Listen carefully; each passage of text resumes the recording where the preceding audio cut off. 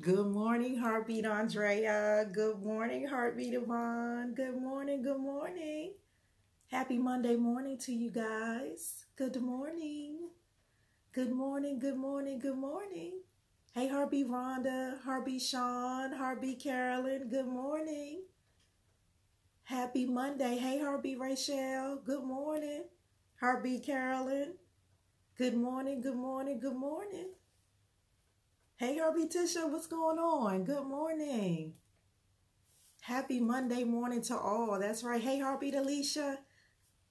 Good morning, good morning, good morning. Hey, Heartbeat Troy. Hey, Heartbeat Anita. Good morning. Hey, Heartbeat Tanya. Good morning, good morning. I see a new face up there. Good morning to you and welcome to the Gathering of Hearts. Good morning, good morning, good morning. Happy Monday morning. It's Marvelous Manifestation Time Monday. Oh, you know I love that. Marvelous Manifestation Monday. That means we're going to get some things on the day. Amen. Amen. Well, let's come on and get started. I am Regina Banks, your GPS to wholeness. Welcome to the Gathering of Hearts by God Wants Me Whole on this Marvelous Manifestation Monday. Amen. So, your daily dosage for today is it's all in how you see it. Somebody say it's all in how I see it. So Numbers 13, 33, and I'm reading out of the King James Version says this, and there we saw the giants, the sons of Anak, which come of the giants, and we were in our own sight as grasshoppers, and so we were in their sight.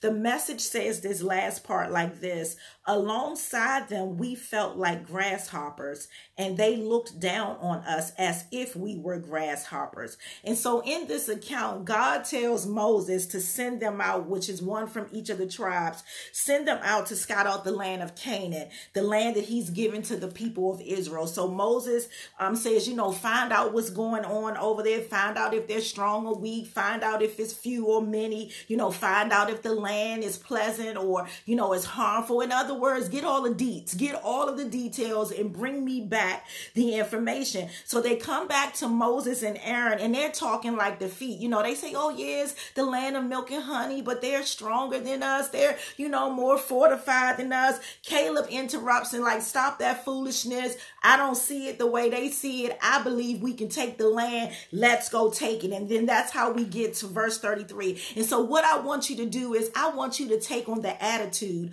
of Caleb. Caleb was like, that's not how I see it. I don't care how strong they look. I don't care how fortified they are.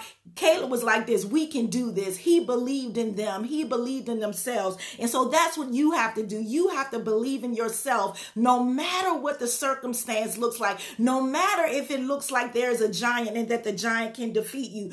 Don't pick your own image from other people or from a title or how people see you or how people want you to be. You You've got to be who God called you to be. You've got to believe in yourself. You've got to believe that you were made in God's own image. You've got to be the person that God, remember, God said, before you were even in your mother's womb, I knew you. I knew who you were. I knew you were going to be great. I knew you were going to be prosperous. I knew you were going to be whole. And so you've got to take on that attitude of Caleb. You remember, um, even back with the story, and I love David, how David, you know, he never let people put anything on him him. He knew who he was. You know, Saul was the people's choice, but David was God's choice. And you, my friend, you heartbeat nation, you are God's choice. And so it doesn't matter if it looks to you or to someone else that you aren't qualified. How does it look to you? It's all in how you see it. Amen.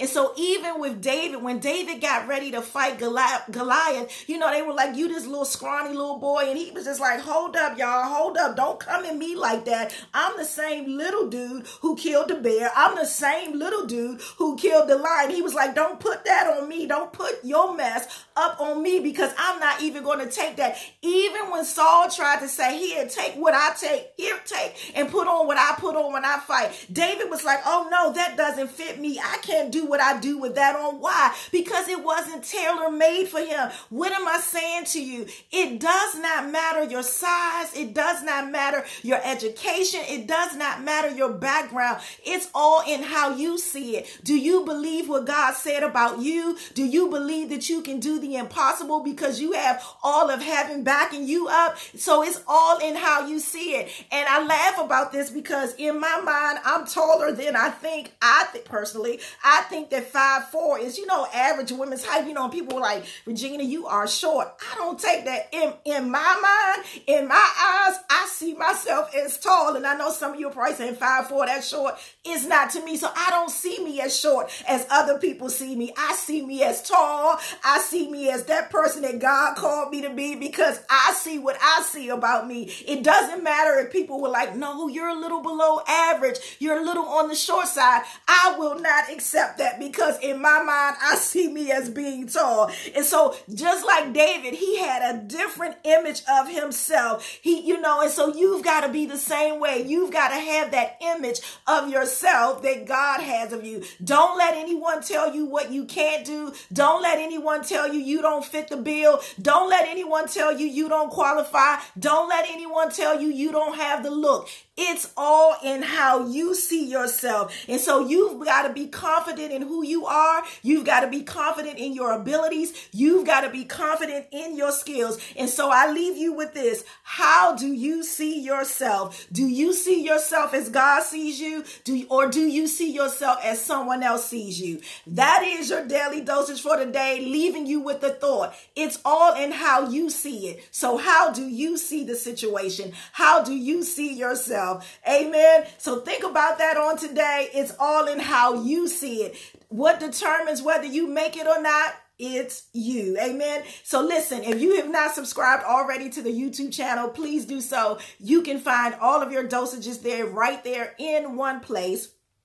Follow me on all social media platforms. God Wants Me Whole. Visit the website, godwantsmewhole.org. And if you're out and about today, in your car, wherever, tune into 96.3 WHUR. I will be giving inspirational moments all day today. I love you guys a bunch, and I will see you tomorrow morning at 7:30 a.m. Remember, this is Marvelous Manifestation Monday, and it's all in how you see it. See you tomorrow.